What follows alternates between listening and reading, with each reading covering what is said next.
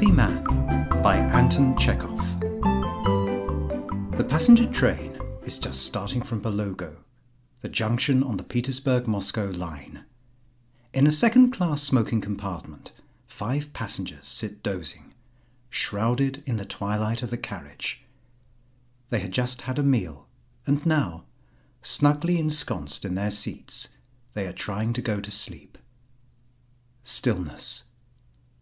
The door opens, and in there walks a tall, lanky figure, straight as a poker, with a ginger coloured hat and a smart overcoat, wonderfully suggestive of a journalist in Jules Verne or on the comic stage. The figure stands still in the middle of the compartment for a long while, breathing heavily, screwing up his eyes and peering at the seats. No, wrong again, he mutters. What the deuce? It's positively revolting. No, the wrong one again. One of the passengers stares at the figure and utters a shout of joy.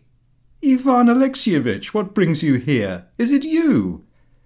The poker like gentleman starts, stares blankly at the passenger, and recognizing him, claps his hands with delight.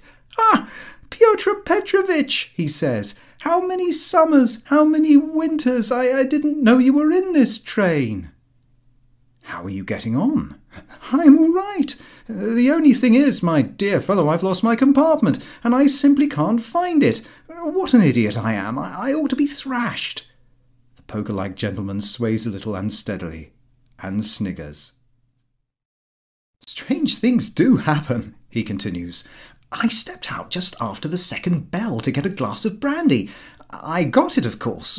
Well, I thought, uh, since it's a long way to the next station, it would be as well to have a second glass. While I was thinking about it and drinking it, the third bell rang. I ran like mad and jumped into the first carriage. I am an idiot. I am the son of a hen. But you seem in very good spirits, observes Pyotr Petrovitch. Come and sit down. There's room and a welcome. No, no, I'm off to look for my carriage. Goodbye. You'll fall between the carriages in the dark if you don't look out. Sit down, and when we get to a station, you'll find your own compartment. Sit down. Ivan Alexeyevich heaves a sigh and irresolutely sits down facing Pyotr Petrovitch. He is visibly excited and fidgets as though he were sitting on thorns. Where are you travelling to? Pyotr Petrovitch inquires. I? Into space? There is such a turmoil in my head that I couldn't tell where I am going myself. I go where fate takes me. Ha ha ha! My dear fellow, have you ever seen a happy fool? No? Well then, take a look at one. You behold the happiest of mortals. Yes, don't you see something from my face? Well, one can see you're a bit. A tiny bit so so. I dare say I look awfully stupid just now. Ah, it's a pity I haven't a looking glass. I should like to look at my counting house. My dear fellow, I feel I am turning into an idiot. Honour bright. Would you believe it? I'm on my honeymoon. Am I not the son of a hen? You? Do you mean to say you were married? Today, my dear boy. We came away straight after the wedding. Congratulations, and the usual questions follow. Well, you are a fellow, laughs Pyotr Petrovitch. That's why you were rigged out such a dandy. Yes, indeed. Oh, to complete the illusion, I've even sprinkled myself with scent. I am over my ears in vanity. No care, no thought. Nothing but a sensation of something or other. Deuce knows what to call it. Beatitude or something. I've never felt so grand in my life. Ivan Alexeyevich shuts his eyes and waggles his head. I'm revoltingly happy, he says. Just think, in a minute I shall go to my compartment. There, on the seat near the window, is sitting a being who is, so to say, devoted to you with her whole being. A little blonde with a little nose. Little fingers. Oh, my little darling. My angel. My little poppet. Phylloxera of my soul. And her little foot. Good God, a little foot not like our beetle crushers, but something miniature, fairy like, allegorical. I could pick it up and eat it. That little foot. Oh, but you don't understand. You're a materialist, of course. You begin analysing at once, and one thing and another. You are cold hearted bachelors. That's what you are. When you get married, you'll think of me. Where's Ivan Alexeyevitch now? You'll say. Yes, so in a minute I'm going to my compartment. There she is, waiting for me with impatience, in joyful anticipation of my appearance. She'll have a smile to greet me. I sit down beside her and take her chin with my two fingers. Ivan Alexeyevitch waggles his head and goes off into a chuckle of delight. Then I lay my noddle on her shoulder and put my arm round her waist. Around all is silence, you know. Poetic twilight. I could embrace the whole world at such a moment.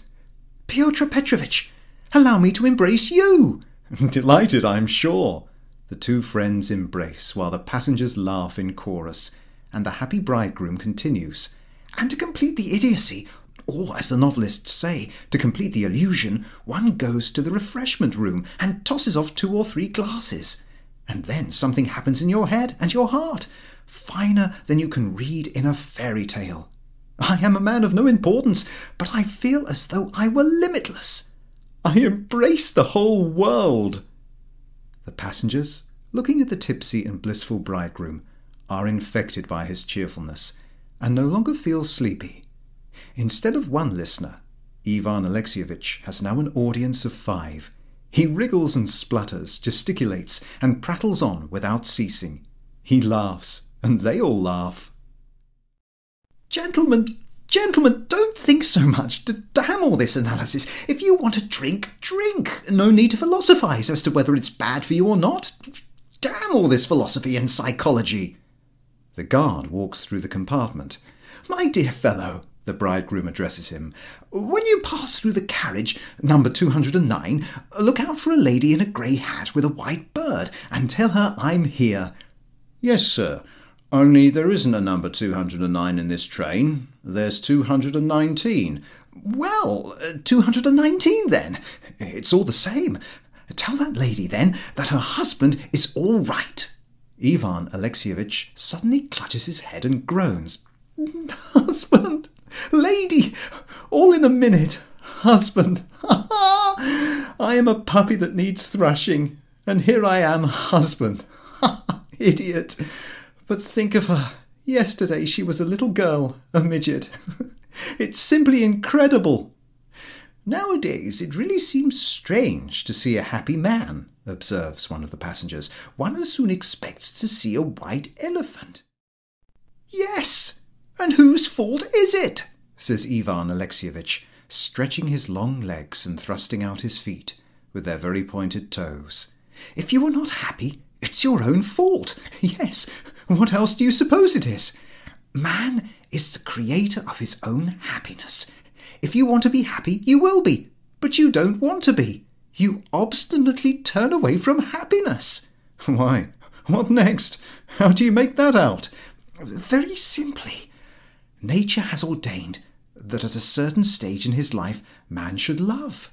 When that time comes, you should love like a house on fire, uh, but you won't heed the dictates of nature. You keep waiting for something. What's more, it's laid down by law that the normal man should enter upon matrimony. There's no happiness without marriage. When the propitious moment has come, get married. There's no use in shilly shallying. But you don't get married, you, you keep waiting for something. Then the scriptures tell us that wine maketh glad the heart of man. If you feel happy, and you want to feel better still, then go to the refreshment bar and have a drink. The great thing is not to be too clever, but to follow the beaten track. The beaten track is a grand thing.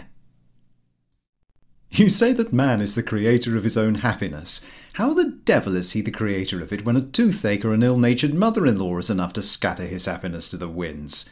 Everything depends on chance.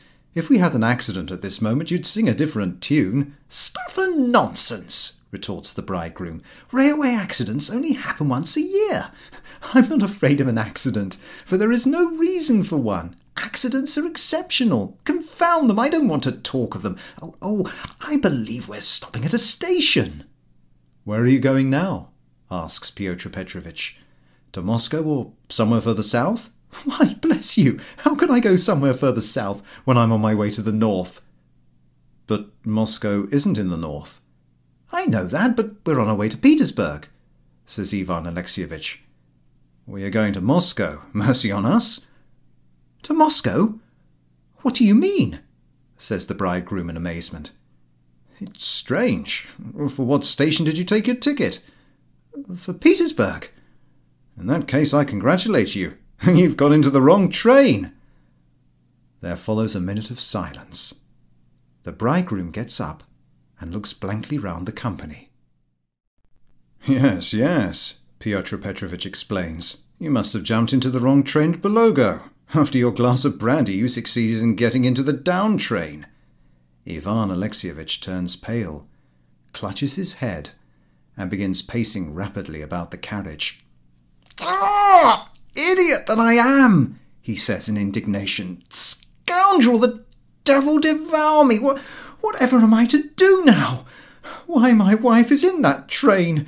She's there all alone, expecting me, consumed by anxiety. Oh, I'm a motley fool! The bridegroom falls on the seat and writhes as though someone had trodden on his corns. I am an unhappy man, he moans. What am I to do? What am I to do? There, there. The passengers try to console him. It's all right. You must telegraph to your wife and try to change into the Petersburg Express. In that way, you'll overtake her. The Petersburg Express! weeps the bridegroom, the creator of his own happiness.